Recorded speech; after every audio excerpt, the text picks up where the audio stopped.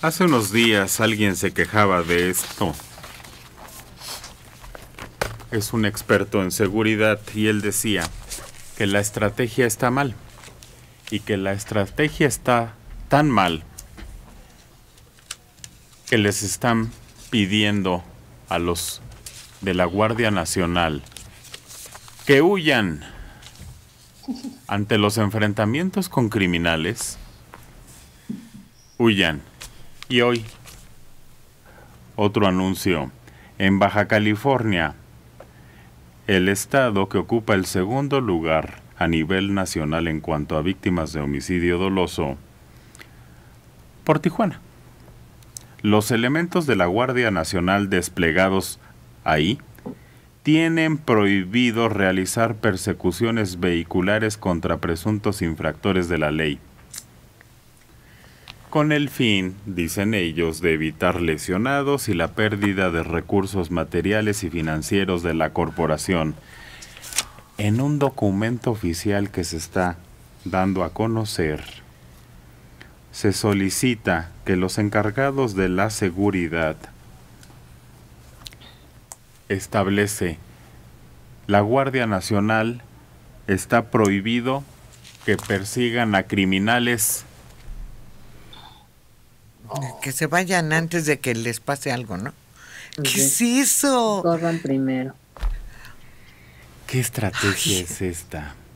La orden, les digo, está argumentada con evitar lesionados y la pérdida de recursos materiales y financieros, es decir, que no choquen y se vayan a hacer daño, que no choquen la patrulla y luego hay que repararla que no gasten las llantas y gasolina en una persecución ni las balas que se podrían dar en esa persecución.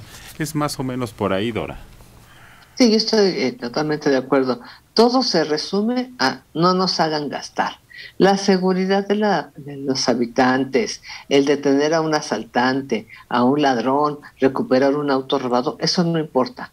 Eh, eh, que ustedes no se lesionen, no, eso no les importa tampoco.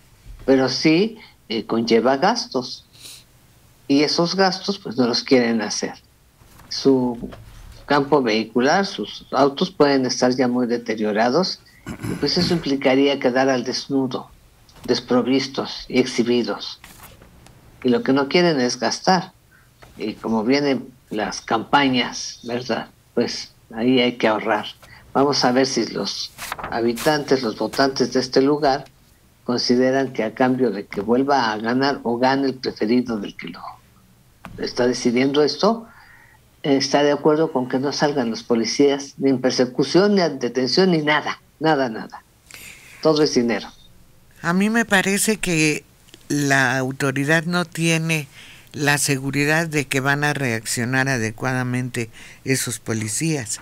Quiere decir que no le ha dado no le ha proporcionado ni la capacitación, ni los elementos para movilizarse, ni el armamento, nada suficiente para enfrentarse a la delincuencia.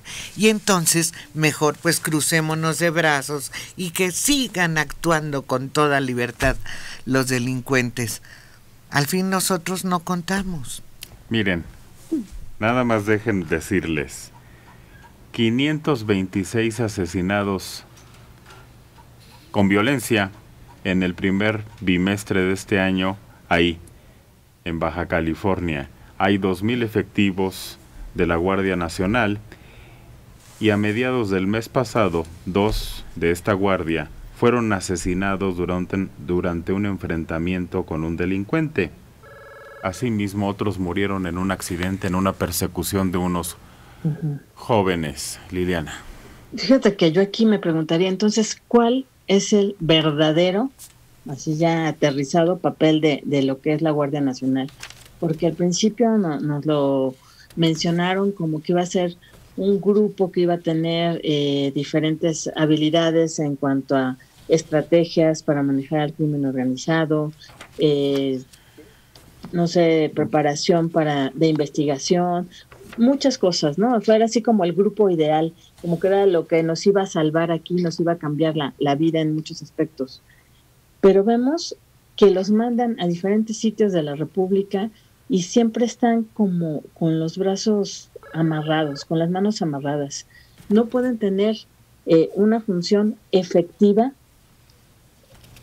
en el lugar en que los mandan. ¿Por qué? Porque muchas veces llegan y no tienen conocimiento de cómo está realmente la delincuencia en ese sitio o no pueden llevar a cabo varias tareas, se ven impedidos, se ven muy limitados. Entonces, ¿cuál es la verdadera tarea de, de este grupo? Porque si nos están diciendo qué no pueden hacer, yo quisiera saber qué sí pueden hacer y para qué realmente están capacitados. Mario. Creo que el problema es que se está convirtiendo ya en la norma hacer las cosas que para que parezca que el gobierno está haciendo algo. No que el gobierno haga algo y tome cartas para resolver los problemas, sino que en la apariencia parece que está abordando y enfrentando todos los problemas, pero ya en los hechos no. Y eso vemos que es muy general. Es una tendencia a desentenderse de lo que de, los verdaderos problemas y de la suerte de la gente. Y claro, pues eh, la gente eh, no alcanza a, a, entender esto, esta indiferencia, esta tontería, y pues los atribuye otras razones, pero es el total desamparo en que está el país.